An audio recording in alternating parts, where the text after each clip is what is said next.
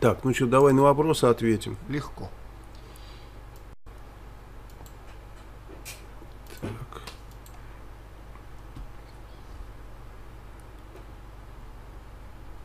Вот задают нам вопрос. Добрый день, хунта. Как уже всем известно, путинский авиагараж состоит из 43 бортов. За последний год ему прикупили еще 4. А вообще у него теперь 47, это только официально. Некоторые, кстати, данные говорят, что намного больше. Вопрос нафига?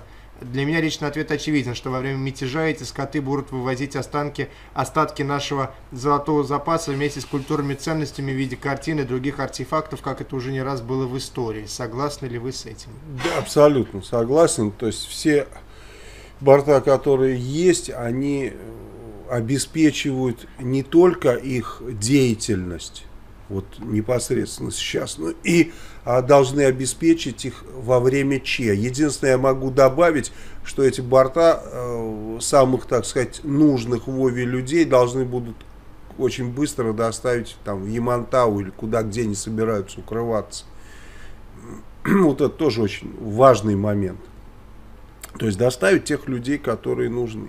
Вот вопрос еще, вопрос. Вы говорите, что очень популярно, потому что поддерживаете революцию. При этом у вас 96 тысяч подписчиков, а у того же Камикадзе, открыто выступающих против революции, 700 тысяч подписчиков. Это как?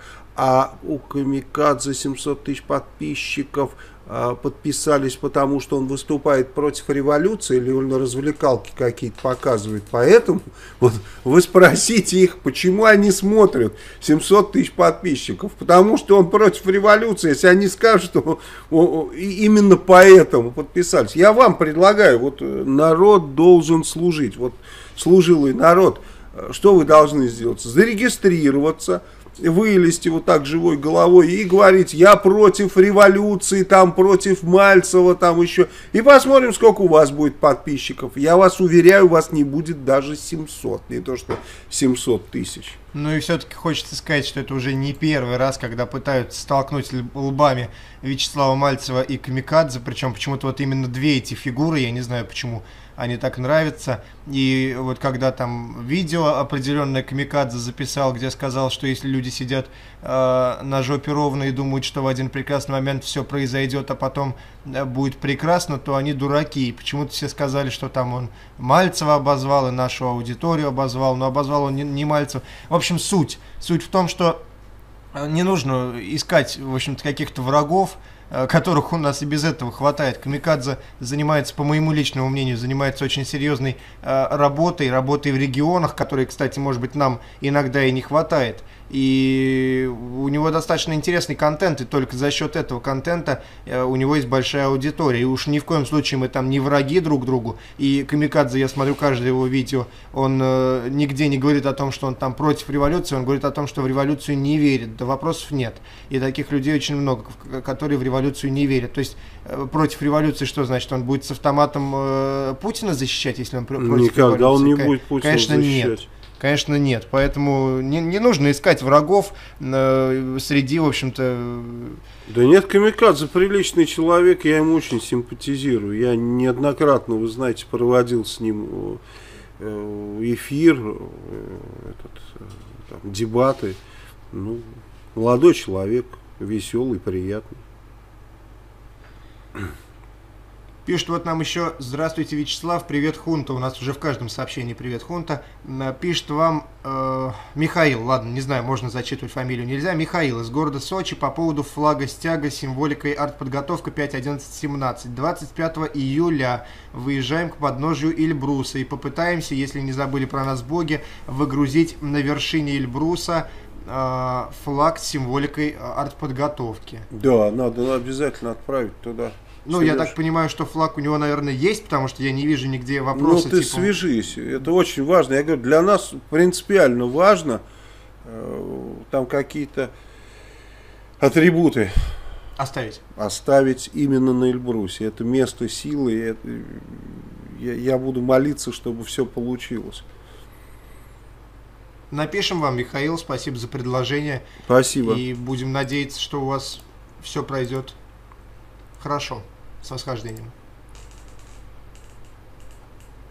Спрашивают меня, кто такой русский для меня, кто такой россиянин. Я, может, открою Америку, но для меня русский тот, кто считает себя русским. А россиянин тот, кто считает себя россиянином, то есть живущим в России, но не русским. И я думаю, что более какого-то расширительного толкования даже и не ну или узкого даже и не нужно. Ну, человек считает себя русским, ну, значит, он русский. Если человек считает себя россиянином, значит россиянин. Ну, как можно что-то считать за человека? Вот я считаю, что он вот, вот то-то. Ну, здоровье считай. Главное, как он, он про себя думает. Мы вот сказали, что будем отвечать на все вопросы, да, вне зависимости там от каких-то да. от каких-то тем, скажем так. Вот человек пишет, у него два вопроса. Знаете ли вы, что в Александровском зале Кремля сверху над дверей у потолка висит масонский глаз? Если да, то после 5-11 будет ли он снят и уничтожен? И как вы будете реагировать, если Америка, Госдеп, к примеру, будет ярко возмущаться? Я не думаю, что вообще даже те масонские символы, которые есть, их полно в Петербурге, их полно в Москве, ну, масоны любят свои символы э, втюхивать, особенно в архитектуре, и особенно в архитектуре 19 века. если мы начнем, сейчас возьмем кайло и пойдем их все эти символы вышибать, ну, мы уподобимся тем, кто потратил жизнь свою на то, чтобы в гробницах Египта и в пирамидах, ну, в гробницах Египта уничтожить все эти, значит, фрески там. То есть с там сидел в жаре, там, я не знаю, в 90-градусной жизнь свою э, положил на то, чтобы все это сбить, и, и чтобы там люди не увидели каких-то там ложных богов и так далее. О чем речь? Какие ложные боги, какие масонские символы? Нас-то это вообще не беспокоит. Давайте это оставим истории. Если кто-то в этом что-то видит, какой-то сверхъестественный, да, ну, я имею в виду, какой-то там, да, там руку дьявола или еще что-то. Ну, надо убрать эти символы, может быть, из денег, да, из наших. Да, то есть, ну, мы вообще собираемся бумажные деньги отменить, да. Ну, если вы возьмете, откроете любую бумажную денежку, вы увидите, что орел не а, банка, даже путинского, не российского банка, орел там совсем другой изображен. Ну, просто мы это дело все поменяем. Если вы увидите, что э, герб, там, ездец, это несколько не такой, как должен быть. Ну, да, и так далее. Вот это, такую символику, конечно, мы поменяем. А ту, которая в архитектуре, на какой смысл ее там вышибать или как-то вот э, так себя вести вандальным таким образом. Считаете ли вы опасной систему электронных э, карт, которая уже введена в ряде регионов России, и будет ли она отменена после 5, 11, 17? Она будет изменена. Мы же говорим о том, что мы будем способствовать введению повсеместно электронных денег, а соответственно электронные карты вот того вида, они не, не имеют смысла ими пользоваться. Кроме всего прочего, вы же понимаете, что а, сейчас, вот в настоящий момент, как раз прорабатываются варианты, как человек будет проводить оплату. При помощи телефончика своего, ну там к чему-то приложил телефончик, и все, и оплата произведена. То есть, а, таким образом, чтобы это было быстро, а карты, ну это очень медленно, это очень долго, оплата карты. То есть, это потеря времени.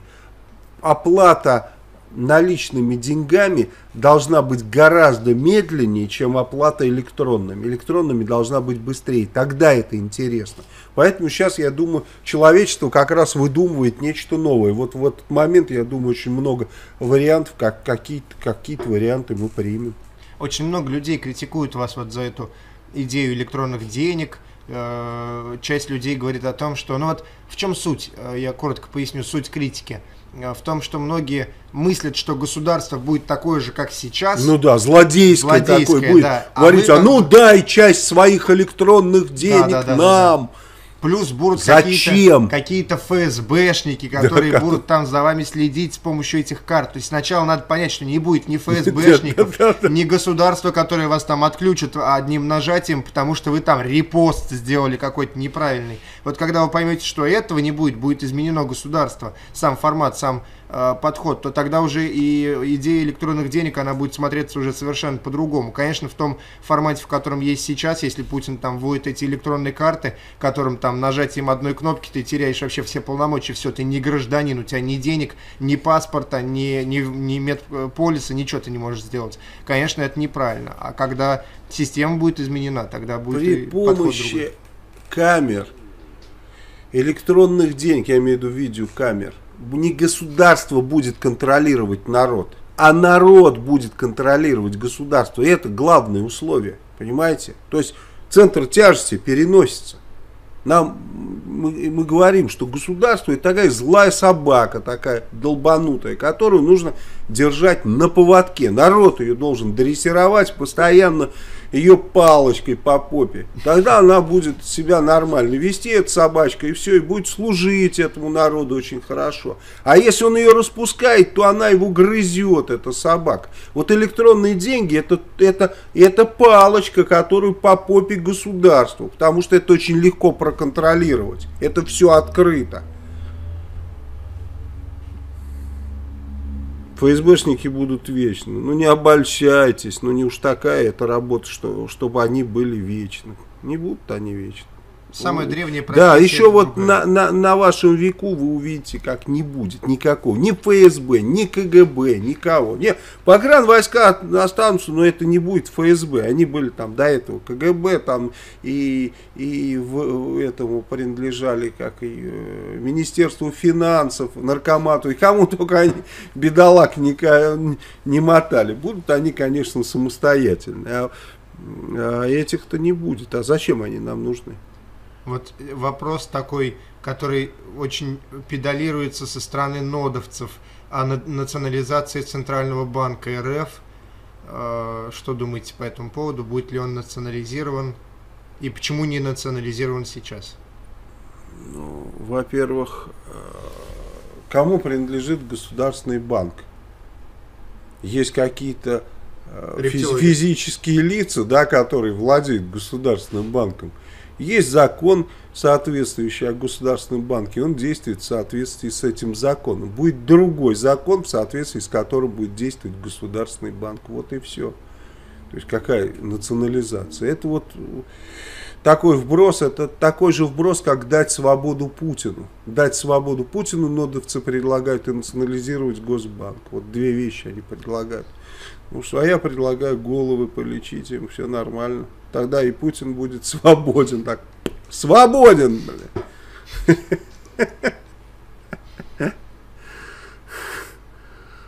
Скучно будет без ФСБ. Да ну найдете, как развлечься, что ж вы. Честное слово.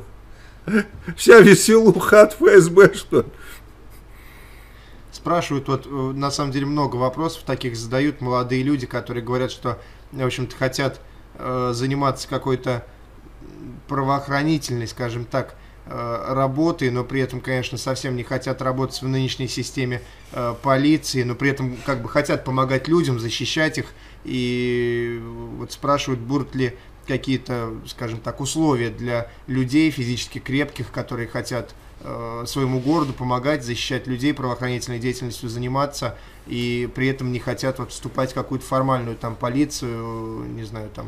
Это после пятого или после до пятого? пятого? После пятого. Ну, после пятого, одиннадцатого, во-первых, э, муниципальная милиция, безусловно и Национальной гвардии, безусловно. Не та путинская, а реальная Национальная гвардия, которая создается на местах. То есть муниципальная милиция это те люди, которые профессионально занимаются деятельностью по охране общественного порядка и так далее. А Национальная гвардия это те, кто, так сказать, приданные силы. Они могут там быть пожарными, я не знаю, могут быть там коммерсантами и так далее. А в сложный момент, когда что-то происходит, ну, они, во-первых, тренироваться будут там по субботам, я не знаю, как, ну, когда они определят для себя дни, на это средства будут выделяться, безусловно. Они, конечно, вооружаться будут и так далее.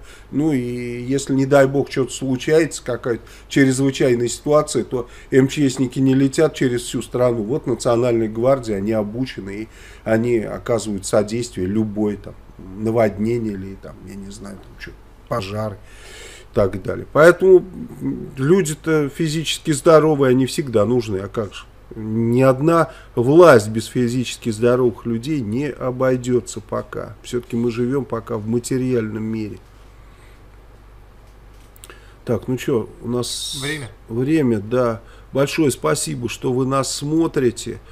Вот Сергей сейчас, наверное, повторит опять, что нам помощь нужна по сбору подписей. И сейчас вот э, после регистрации Парнаса э, федеральный, значит, э, в, это, в, центра, ну, в центр избиркоме, это произойдет ближе к 20 числам, тогда мы уже скажем, что еще нужно, потому что как бы мы уже начнем открытую агитацию и времени останется мало, всего два месяца, поэтому нужно будет точно быть активными и в том числе в интернете.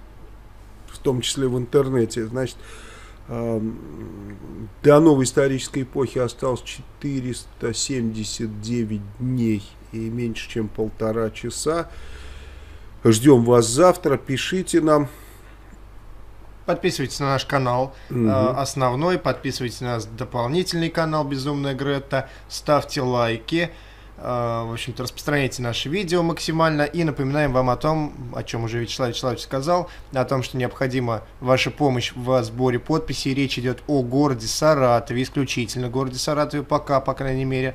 Э, то есть, если вы смотрите нас из города Саратова, вы можете, э, в общем-то, прибыть к нам в штаб на улице Чернышевского 120А. Здесь есть вывеска, штаб партии Парнас. Э, мы вам, в общем-то, дадим бланки, дадим краткий инструктаж, что и как делать. Можете по своим друзьям, родным и так далее. Задача стоит очень серьезная, скажем так. То есть у нас крайние э, дни это... За три дня 4000 подписей надо собрать. Да, но я думаю, что если вы вдумаетесь, вдумаетесь в это число, то, наверное, очень удивитесь. Ну, нас это, наверное, даже так заводит в определенном Подстегивает. смысле. Подстегивает, да.